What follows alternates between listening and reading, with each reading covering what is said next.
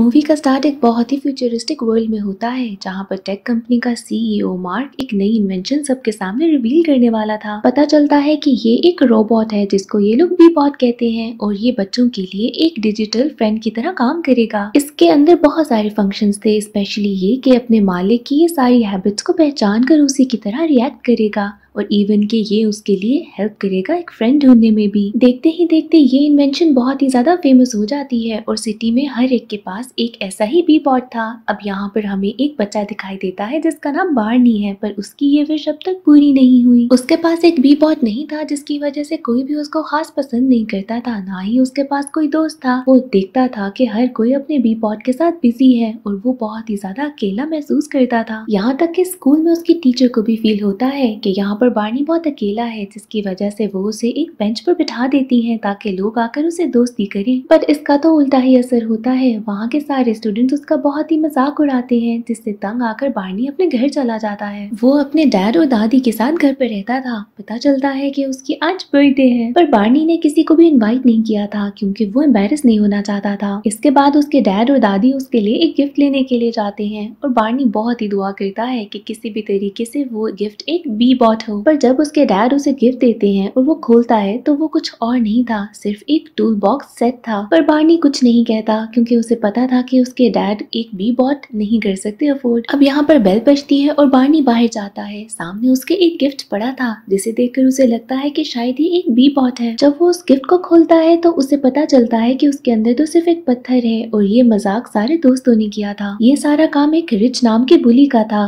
सब उसका बहुत मज़ाक उड़ाते हैं और इसी तरीके से वो बहुत उदास होकर अंदर आ जाता है। बार्नी के डैड भी देखते हैं कि अब वो कितना उदास हो गया है और आज तो उसकी बर्थडे है, जिसके बाद वो दादी को लेते हैं और जाते हैं कि एक बी बॉट खरीद कर हम बार्नी को गिफ्ट करते हैं। जब बार्नी के डैड और दादी पहुँचते हैं स्टोर तो वो ऑलमोस्ट बंद होने वाला था और वो एक बी बॉट खरीद नहीं पाते। इसके साथ ही बार्नी के डैड को पीछे खड़ा एक ट्रक नज़र आता है। उसमें बहुत सारे बी बॉट थे और वो वहाँ से एक खरीद लेता है, बट वो कास्ट ठीक नहीं था। बार्नी तो एक नए बी बॉट को देखकर बहुत ही ज़्यादा एक्साइटेड होता है क्योंकि उसकी विश पूरी हो चुकी थी। इसके बाद जब वो बी बॉट को एक्टिवेट करने की कोशिश करता है तो वो हो ही नहीं रहा था। बहुत ही मुश्किलों से बार्नी उसे ऑन तो कर लेता है, लेकिन वो बार बार एक ही रिक्वेस्ट करता है कि उसे बबल स्टोर के साथ कनेक्ट किया जाए। बार्नी देखता है कि उसमें बहुत सारी प्रॉब्लम्स हैं। बार्नी ये बात समझ गया था कि बबल नेटवर्क से कनेक्ट किए बगैर इसको ठीक नहीं किया जाएगा, जिसके बाद वो उसे चार्जिंग पे लगाकर स्कूल चला जाता है। बार्नी तो एक्साइटमेंट में स्कूल में भी सबको बताता है कि अब उसके पास भी एक बी बॉट है।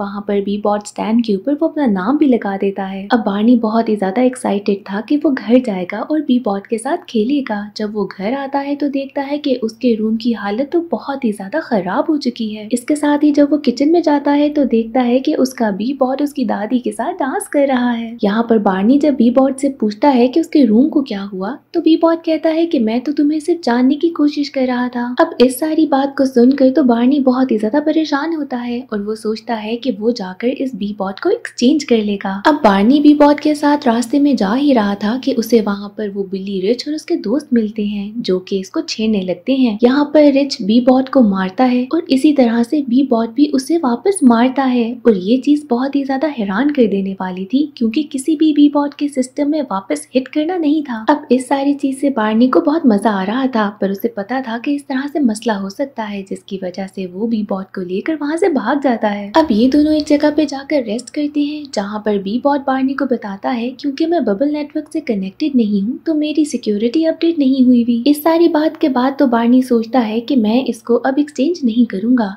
यहाँ पर एक साथ ही पुलिस ऑफिसर आता है, क्योंकि वहाँ पर रिच ने कंप्लेन कर दी थी। इसके बाद ये पुलिस ऑफिसर इस बी बॉट को लेकर चला जाता है उसी कंपनी में, ताकि वहाँ पर जाकर इसको खत्म कर दिया जाए। वो वहाँ पर लोगों को कहता है कि उसे लगता है कि इसकी वजह से बच्चों को खतरा है। जब इस बी बॉट की सेटिंग्स चेक की जाती है तो पता चलता है की ये तो एक इलीगल बी बॉट है। इसके बाद तो सब यही डिसाइड करते हैं की अब इसको क्रश कर दिया जाएगा। पर पानी बिल्कुल भी ऐसा नहीं चाहता था। वो उस मशीन के अंदर जाता है ताकि बी बॉट को बचा ले और वो ऐसा ही करता है। वो बी बॉट को वहाँ से निकाल कर एक प्ले में छुप जाता है। वहाँ पे बहुत सारे लोग उसको पकड़ने के लिए आते हैं, लेकिन यहाँ पर बार्नी ने बहुत होशियारी से उसको एक्सचेंज कर दिया था, जिसके बाद वहाँ पर एक बी बॉट को क्रश किया जाता है। बट पता चलता है कि ये वो वाला भी बहुत नहीं है। बार्नी तो उसे अपने साथ ले आया था। अब उसका कोट देखकर बार्नी यहाँ पर उसका नाम रॉन रख देता है। दूसरी तरफ़ हम देखते हैं कि टेक कंपनी का ओनर मार्क बताता है कि कैसे हंड्रेड मिलियन यहाँ पर सेल हो चुके हैं और वो इनके साथ एक अच्छा फ्यूचर देना चाहता है बच्चों को। इसके साथ ही हम यहाँ पर मार्क के एक पार्टनर को भी देखते हैं, पर उससे बच्चों की भलाई से कोई लेना देना नहीं था। वो तो सिर्फ़ ये चाहता था कि सेल बहुत ज़्यादा हो ताकि उसके पास बहुत ज़्यादा पैसा आए। यहाँ पर अब इन दोनों का एक इंटरव्यू होता है, जहाँ पर इंटरव्यू लेने वाली इनसे पूछती है उसी बी बॉट के बारे में जिसको रिच ने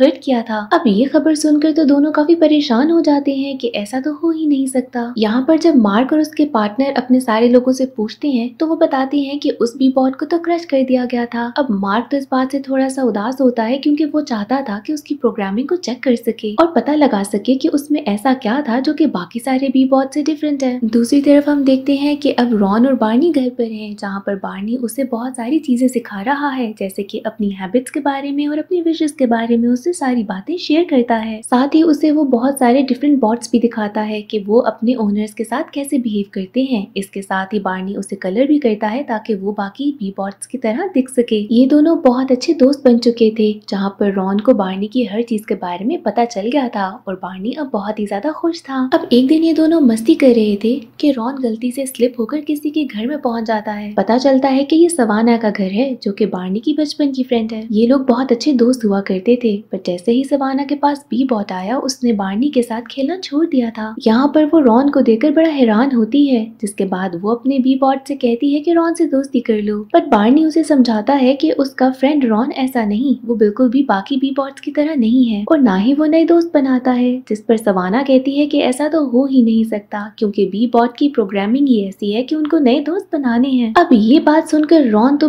बिल्कुल एक्टिव हो जाता है, क्योंकि उसके सिस्टम में ये बात किसी तरीके से पहुँच गई थी। इसके बाद यहाँ से बार्नी लेकर चला जाता है रॉन को। जाने से पहले वो सवाना से कहता है कि प्रॉमिस करो, तुम रॉन के बारे में किसी को भी नहीं बताओगी। और उसके बाद वो घर चला जाता है। घर जाने के बाद रॉन पूछता है बार्नी से उसके दोस्त के बारे में, जिस पर बार्नी उसे बताता है कि अब उसका कोई भी दोस्त नहीं रहा। दूसरी तरफ़ हम देखते हैं कि मार के पार्टनर को कुछ ऐसी वीडियोस मिलती हैं, जहाँ से उसको पता चल जाता है कि रॉन को क्रश नहीं किया गया था, और वो अब भी बाहर है, जिसके बाद वो अपनी सारी टीम को कहता है कि किसी भी तरीके से रॉन को पकड़कर वापस लाया जाए। दूसरी तरफ़ मार्क भी वो वीडियोस देखता है, जिसमें वो नोट करता है कि रॉन तो हंस भी रहा है। और वो बहुत ही ज़्यादा अजीब फील करता है, क्योंकि बी बॉट्स तो प्रोग्राम नहीं थे हंसने के लिए, जिसके बाद वो भी अपने लोगों से कहता है कि रॉन को किसी भी तरीके से वापस लेकर आया जाए, ताकि उसके सिस्टम को चेक कर सके कि उसमें क्या चेंजेस हैं। अब अगले दिन बार्नी रॉन को शेड में छोड़कर स्कूल चला जाता है, और वो रॉन से कहता है कि उसे बाहर नहीं निकलना। पर जैसे ही बार्नी वहाँ से जाता है, रॉन भी बाहर निकल आता है। क्योंकि उसके जहन में वही बात थी कि उसे अब बार्नी के लिए नए दोस्त ढूँढने होंगे। जिसके बाद वो पूरे शहर में पोस्टर चिपकाता रहता है और बहुत सारे लोगों को बार्नी की पिक्चर भी दिखाता है और कहता है कि क्या वो बार्नी के दोस्त बनेंगे। इसी तरह यहाँ पर ये रॉन पहुँच जाता है बार्नी के स्कूल जहाँ पर वो उसके लिए बहुत सारे दोस्त इकट्ठे कर रहा था। अब जब टीचर ये सारी चीज़ें देखते हैं तो वो कहते हैं कि बार्नी तुम्हें प्रिंसिपल के पास जाना होगा। बार्नी तो ऐसे प्रिंसिपल के ऑफ़िस पहुँच जाता है और पीछे हम देखते हैं कि रिच अपने बॉट्स को भी वैसे ही प्रोग्राम कर लेता है, जैसे रॉन प्रोग्राम था। देखते ही देखते यहाँ पर तो तबाही मच गई थी। यहाँ पर रिच इस चीज़ का फ़ायदा उठाते हुए बहुत ही मज़ा करता है। वो बहुत सारे बॉट्स को जमा करके एक बड़ा सा मंकी बनाता है। इसके बाद वो बहुत सारे बॉट्स का एक जोम्बी बनाता है और दिखाता है की कैसे सवाना को वो खा रहे हैं। अब ये वीडियो बहुत ज़्यादा वायरल हो जाती है। दूसरी तरफ़ मार्क और उसका पार्टनर भी ये वीडियो देखता है, जिसके बाद वो एक सिस्टम अपडेट करते हैं, जिससे बाकी सारे बी बॉट्स डीएक्टिवेट हो जाते हैं। इस सारी चीज़ के लिए बार्नी तो ब्लेम करता है रॉन को और कहता है कि मुझसे दूर रहना। दूसरी तरफ़ हम देखते हैं कि कैसे अब बाकी सारे कंपनी के लोग यहाँ पर बार्नी के घर तक पहुँच गए हैं रॉन को ढूंढते ढूंढते बार्नी जब देखता है उन सारे लोगों को तो वो फ़ौरन शेड में भागता है, जहाँ पर रॉन तैयार हो रहा था कि खुद को अब उन लोगों के हवाले कर देगा। पर बार्नी उसे सॉरी कहता है और कहता है की हम अब बेस्ट फ्रेंड्स हैं और वो अब किसी भी सूरत में उन कंपनी वालों को नहीं देगा। इसके बाद यहाँ से बार्नी रॉन को लेकर निकल पड़ता है। रास्ते में उसे दोबारा से सवाना मिलती है, जो कि अपनी वायरल हुई हुई वीडियो को बहुत ही सीरियस ले चुकी थी और बहुत ही ज़्यादा दुखी भी हो रही थी। बार्नी उसे एक बार फिर कहता है कि किसी को भी मत बताना और वो रॉन को लेकर वहाँ से चला जाता है। अब ये दोनों जंगल के बीच में एक बने हुए शेड में रात गुजारते हैं, जहाँ पर बार्नी रॉन को बताता है कि जब से उसकी मॉम चली गई है, वो खुद को बहुत ही अकेला फील कराता है और अब उसके कोई दोस्त भी नहीं रहे थे। इस बात कर सुनकर रॉन उसे कहता है कि मैं तुम्हें कभी भी छोड़ कर नहीं जाऊँगा। दूसरी तरफ़ हम देखते हैं कि बार्नी की दादी और उसके डैड पहुँचते हैं सवाना के घर और उससे पूछ रहे थे कि तुम्हें पता है कि क्या बार्नी किधर है? पर सवाना उनको कुछ कुछ भी नहीं बताती। बार्नी के डैड को लगता है कि शायद वो बार्नी को ठीक से समझ ही नहीं पाए थे। दूसरी तरफ़ हम देखते हैं कि सवाना रिच के पास जाती है। वो कहती है कि ये जो कुछ भी हो रहा है, वो सिर्फ़ हमारी वजह से है, क्योंकि हमने बार्नी को बहुत ज़्यादा तंग किया था और अब हमें भी उसकी मदद करनी चाहिए। बी बॉट में लगे हुए कैमरे से ये सारी बात देख लेता है मार्क और उसका पार्टनर, जिसके बाद वो सारे बी बॉट को प्रोग्राम करके जंगल की तरफ़ भेज देते हैं। अब मार्क भी समझ आता है कि उसे किसी भी तरीके से अपने पार्टनर से पहले रॉन तक पहुँचना होगा, ताकि उसके प्रोग्राम को देख सके। दूसरी तरफ़ हम देखते हैं कि रॉन की बैटरी अब बिल्कुल एंड हो गई है और वो बिल्कुल बंद हो गया है। पार्नी को तो समझ ही नहीं आता कि अब उसे क्या करना चाहिए। दूसरी तरफ़ बाकी सारे बी बॉट्स अब जंगल में पहुँच चुके थे जो कि अपनी लेजर बीम से यहाँ पर रॉन और बार्नी को ढूंढ रहे थे। बार्नी जब बाकी सारे बी बॉट्स को देखता है तो वो रॉन को पकड़कर वहाँ से भागने लगता है। रास्ते में, ज़मीन में एक बहुत ही बड़ा सा खड्डा था, जिसमें ये दोनों गिर जाते हैं। अब मार्क का जो पार्टनर था, वो ये चीज़ देख लेता है, लेकिन वो अपनी बाकी सारी टीम को कहता है की सर्च को रोक दिया जाए, क्योंकि वो चाहता था कि अब बार्नी जंगल में यहीं पर फंसा रहे। मार्क के पार्टनर के इस ऑर्डर के बाद सारे बी बॉट्स वापस आ जाते हैं। यहाँ पर रात को बहुत ठंड हो चुकी थी और बार्नी का एस्तमा बहुत ही ज़्यादा तेज़ी से बढ़ रहा था।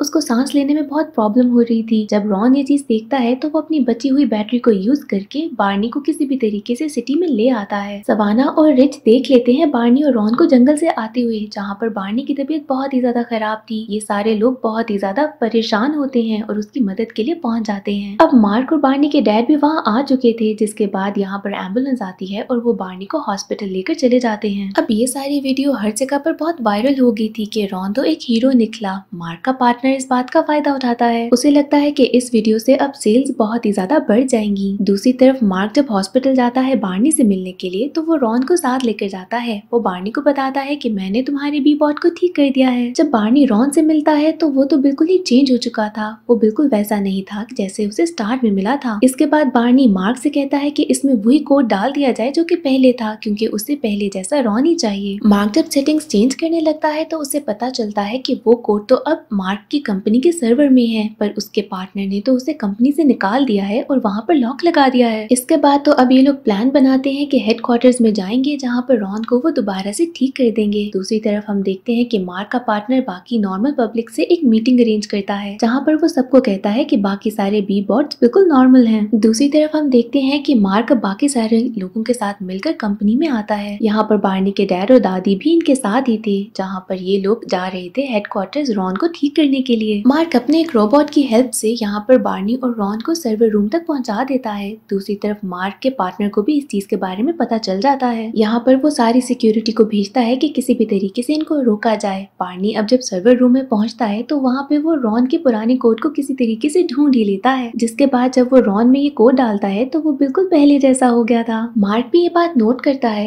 कि रॉन तो बाकी सारे कोड्स को फॉलो ही नहीं करता, बल्कि वो बार्नी के दी हुई बातों को फॉलो कर रहा है। और ये चीज़ उसके लिए बहुत ही ज़्यादा न्यू और इंटरेस्टिंग थी। मार्क साथ ये भी नोट करता है की बाकी सारे बच्चे इवन के बी बॉट्स उनके पास है, खुश नहीं है। और बाकी सारी बात तो ये थी कि उसका पार्टनर बच्चों पे स्पाई कर रहा है इन बी बॉट्स के थ्रू मार्क के माइंड में एक प्लान आता है कि वो रॉन का कोड बाकी सारे बी बॉट्स में भी फ़ीड कर देगा ताकि बाकी सारे बी बॉट्स भी रॉन जैसे हो जाएँ। लेकिन इससे एक मसला ज़रूर होना था। अगर वो ऐसा करेगा तो रॉन हमेशा के लिए डीएक्टिवेट हो जाएगा। वार्नी तो इस चीज़ के लिए अलाउ ही नहीं करता और वो रॉन से कहता है कि हमें यहाँ से चले जाना चाहिए। पर यहाँ पर रॉन उसे समझाता है कि हमें बाकी लोगों की मदद करनी चाहिए और बहुत ज़्यादा फोर्स करने के बाद यहाँ पर बानी मान जाता है। इसके बाद मार्क वहाँ से कोड लेकर बाकी सारे बी बॉट्स में वही फ़ीड कर देता है। जैसे ही यहाँ पर कोड अपडेट होता है, यहाँ पर सिक्योरिटी पहुँच जाती है और वो इन लोगों को पकड़ लेती है। मार्क के पार्टनर को लगता है कि अब सारी चीज़ें ठीक हो गई। पर मार्क सबके सामने वो वीडियो प्ले करता है, जिसमें उसे पता चलता है कि उसका पार्टनर सब कुछ फ़ायदे के लिए कर रहा है और उसे लोगों में तो कोई इंटरेस्ट ही नहीं। अब खुद को बचाने के लिए वो मार्क को फिर से सीईओ बना देता है और खुद चला जाता है। इसके बाद एंड में हम देखते हैं एक सीन सिक्स मंथ्स के बाद का, जहाँ पर सारे बच्चे बहुत ज़्यादा खुश हैं क्योंकि उनके बी बॉट्स अब बहुत ज़्यादा इंटरेस्टिंग हो चुके हैं। अब बार्नी के पास भी बहुत सारे फ्रेंड्स बन गए हैं। एंड में हम कंपनी के ऊपर रॉन की स्माइल को भी देखते हैं और इसी के साथ मूवी एंड हो जाती है।